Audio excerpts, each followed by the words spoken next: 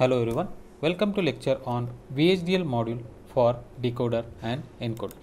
At the end of this session, students will be able to analyze, design and implement encoders and decoders.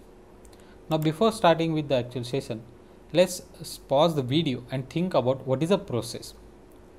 Now the process is nothing but is a sequential section of a VHDL code which is located in the statement part of the architecture and in the process only the sequential statements are allowed. Sequential statements are nothing but the if statements loop statements case statement. Only those statements are used inside the process. Now let's start with the encoder. Start with the 3 encoder.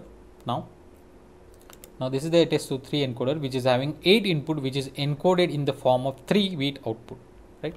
So here I is the 8 bit input I0 to I7 and Z is the 3 bit output Z0 to Z2. This is the truth table for this AT23 encoder. These are the inputs all 8 bits these are the output all 3 bits. Now depending on the which input line is bit is 1 according that you are having output lines so if the i0 is 1 in that case your output bits are 0 0 0 if the i1 is 1 in that case your output is bit having value 0 0 1 so according that the last combination is if the i7 i of 7 bit is 1 in that case you are having all the output bits are 1 now let's go for the VHDL module for this ATS to 3 encoder. Now while writing the VHDL module first there are three parts. First part is a library declaration. So you have to include the library and packages whatever you are using. So library IEEE. Then from that we are using uh, std logic 1164 package. So that's why use IEEE dot std logic 1164 dot all. Once you're done with the library declaration, second uh, important part of the VHDL module is entity. So entity which describe the input and output ports of your system or design for which you are writing the VHDL module. So now here we are writing for the ATS23 encoder. So entity encoder 83 that is the entity name is now port in that you are having you have to declare the inputs and outputs. Now input is I is input which is of 8 bits so that's why it is uh, written as a std logic vector 7 down to 0 z is output which is again 3 bits so it is that's why it is written as a std logic vector 2 down to 0 and the last once you done with the port declaration you have to end the entity. So end entity. Entity name. Same name supposed to be there. After that comes the third important part of the VHDL model that is architecture. So architecture architecture name of entity name is architecture begin. Process. Inside the process you have to write the sensitivity list which is nothing but the inputs so in this case the input is only one that is i. So that's why i is there that is a sensitivity list. Then process begin. Now because of the 8 bit input you have different combinations of that. So we have to use the case statement. So case i is when it is 0 0 0 0 0 0 0 1 in that case output z equals to 0 0 0 same we just did in a truth table so complete the remaining combinations and according that you have to end the case. If the inputs are not among these other than these possible combination in that case you have to write when it is others your output is having z z z that is high impedance on the output. Then end case then end process and the last you have to end the architecture so this is the structure or flow to write the VHDL model. Now this can be verified with the help of simulation. So this is the output waveforms of the ATS23 encoder.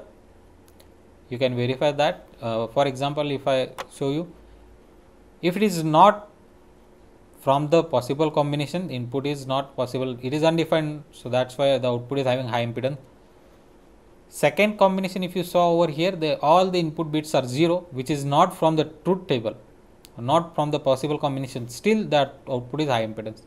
Now here it is becomes last bit is 1 means it is a from the combinations those are available for the input.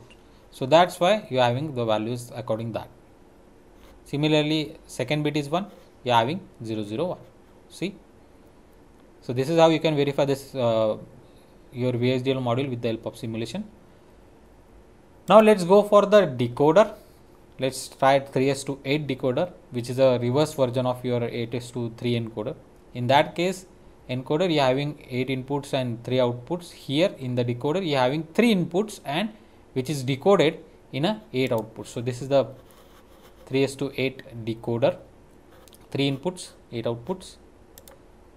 This is the table table for similar to the uh, encoder only the condition is what here the inputs are 3 bit and output are 8 bit. So depending on the input combinations yeah according that the output uh, one bit from the output is 1 other bits are 0 see? Now you know the working of your decoder using this truth table. Let's go for the uh, VHDL module for that as we know first part is a library declaration. We have to write the which library we are using. So library IEEE and from that library which package we are using. So that package also included. So use IEEE dot stdlogic 1164 this one is a package. Now from that package which components you are using or what are the part you are using we are using all.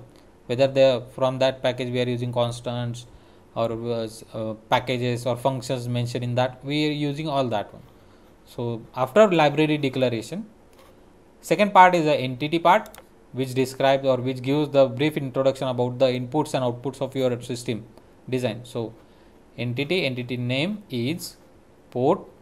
Now, in this case I is the input which is a type of bit vector. So, std logic vector 2 down to 0 3 bit. The z z is output again type of vector. So, 7 down to 0 right.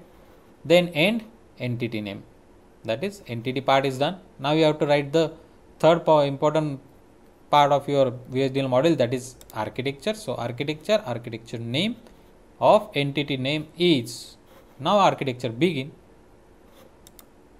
process after that process inside the process you have to write the sensitivity list these are nothing but the inputs now in this case the input is only i. So that's why i is there. If it if clock is also included over here you have to write the clock also right? So i after that process begin. Now before because of uh, input having uh, 3 bit so 8 combinations are there. So we have to use case statement. So case i is when it is 0 0 0 in that case the output z equals to this value